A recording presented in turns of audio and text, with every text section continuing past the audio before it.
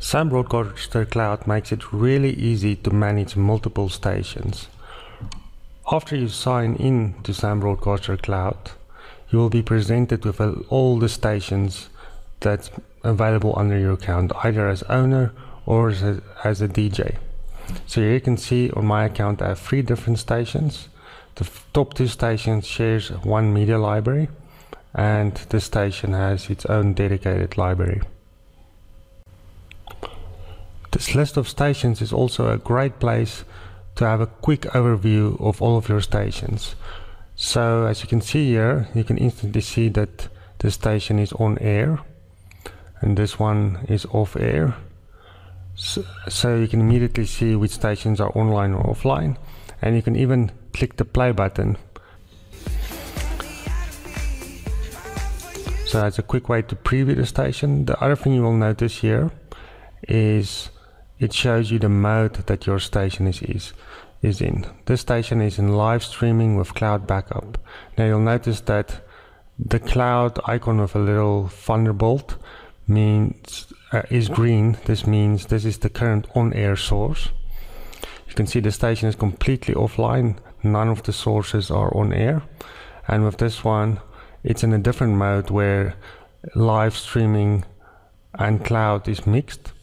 Um, so cloud is not the backup here, but since there's no live source connected, the cloud is the current on-air source. The other thing you will see is if you're the owner or the DJ on the station. Um, on this view, I'm the owner of all three stations. You can also quickly filter and say, I only want to see stations I own, or only stations I'm a DJ on, which is none for me.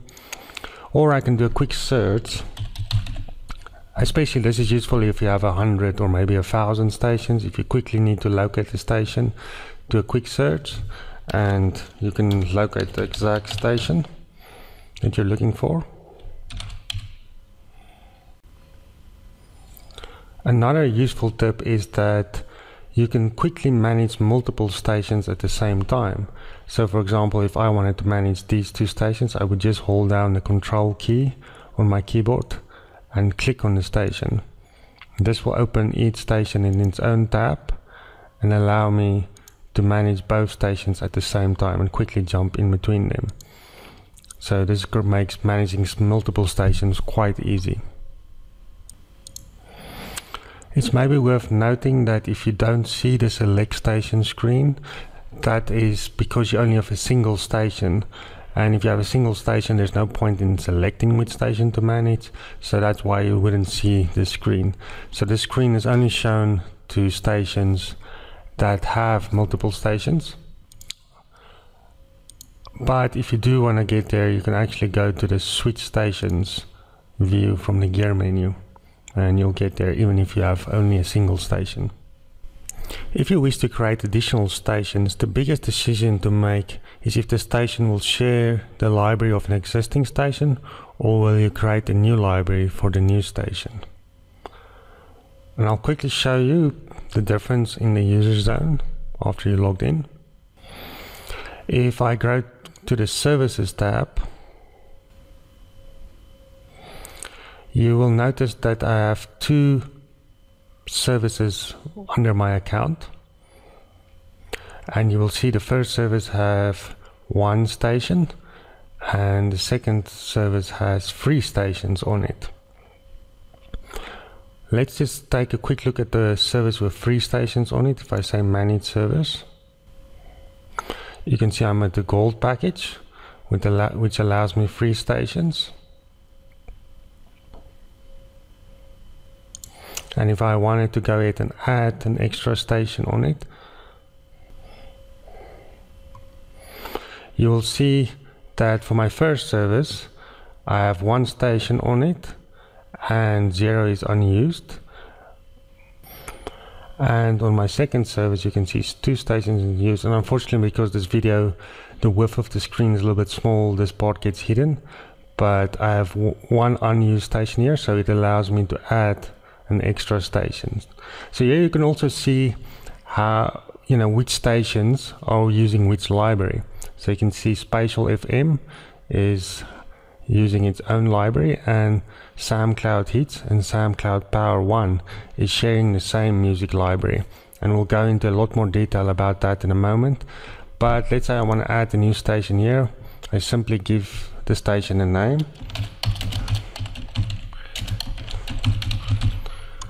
And let's say I want us to create a country station I would just go ahead and add the station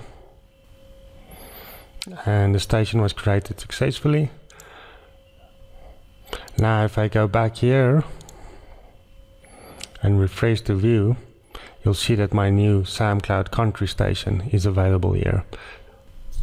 When you're starting to work with multiple stations a big important decision you need to, need to make is if a station will share a library of other stations or have its own library or if you have say a hundred stations how to split them up so some of them share a library and others don't. And there's some good um, strategies to follow or some good advice that I can give you is that if a station is fundamentally of the same genre you probably want to share the music library.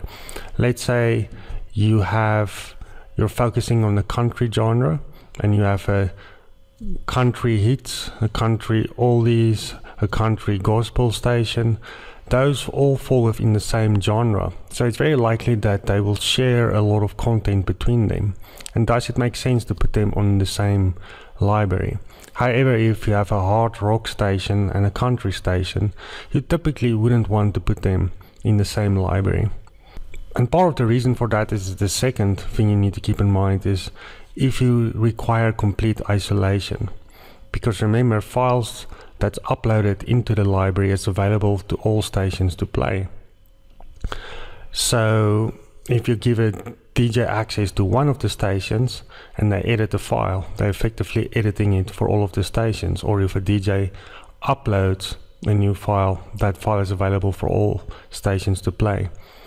So if you're not careful with your play block rotation, uh, unexpected file might play. So if you need complete isolation, having a dedicated library is a very good idea. Our biggest customers tend to group five or six stations of the same major genre into a single library. Thus they might have a hundred or more stations and about 20 shared libraries. So, you know, before you create many, many stations, think a little bit about what grouping is going to fit. With great power becomes great responsibility.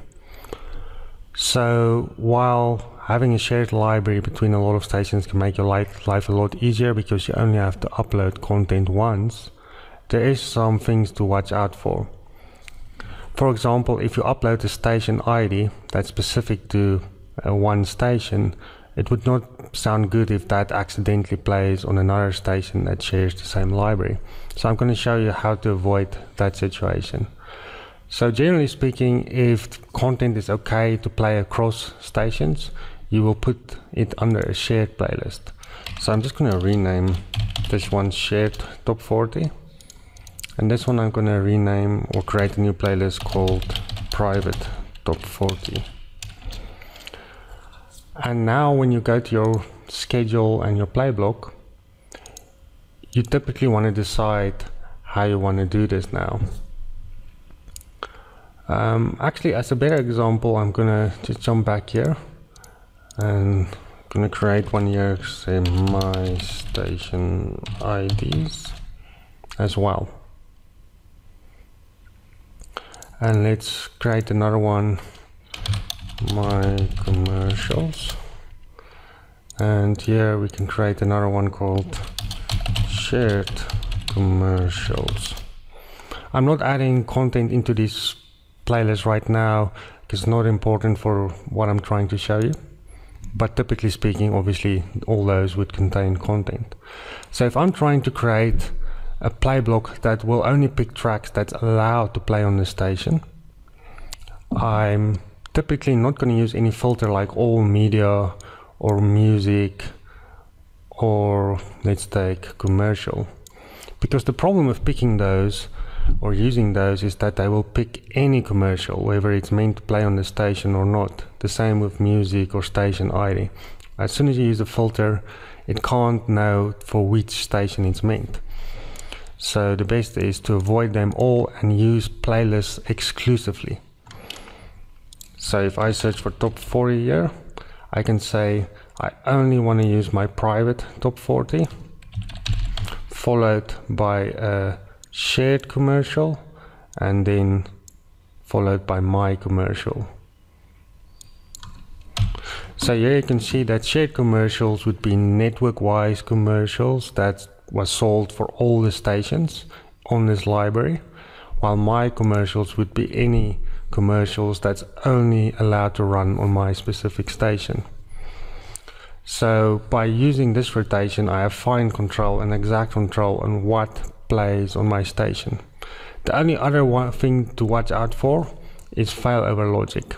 So if I have bad rotation rule set up here and the system is not able to pick a track because my separation rule is too strict, or if, um, for example, there's too few content within my playlist, the system might fall back to failover logic and failover logic picks any random track.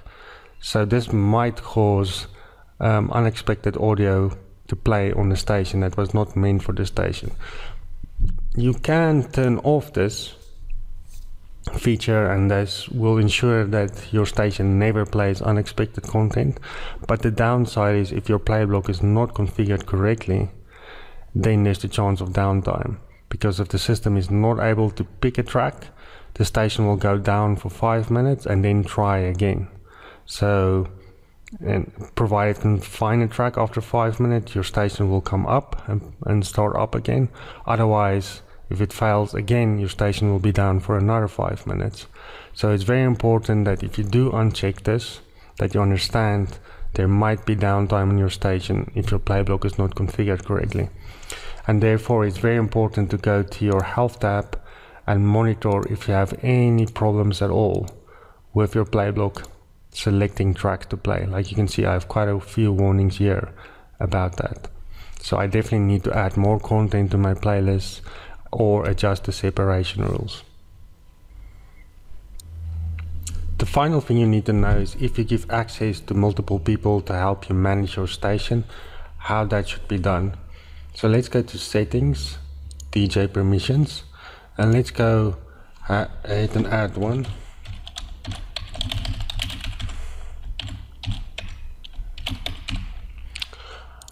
and I'll just go ahead and create this DJ. Now this DJ would receive an email to, that provides them access to our station or our stations for that matter. And here you can see now you can manage what permissions they have. And you can also say apply permissions or apply permissions for all stations on the service. So you have service level permissions and station level permissions. Service level permissions are permissions that would affect all the stations at the same time. So for example, if I edit the metadata of a track, that those changes will be visible to all stations. Or if I import a file or remove a file, that's impact impacting all stations sharing the same media library. Also, however, if you look at the station level permissions, if you have permissions to add or remove items from the queue, change the rotation rules, start, stop the station, skip a track, those are the sort of actions that only affect the current station. So when you give out permissions to people, be aware how they can influence even stations they don't really have access to. So this dj1netspatial.com may only have access to this one station in our library, but some of their actions may actually affect all stations. In summary, SAM Broadcaster Cloud makes it really easy to manage multiple stations. Whether we have a few stations or hundreds of stations, this cloud system makes it really easy to run and manage so many stations. So I hope you enjoyed this tutorial and hope to see you in the next video.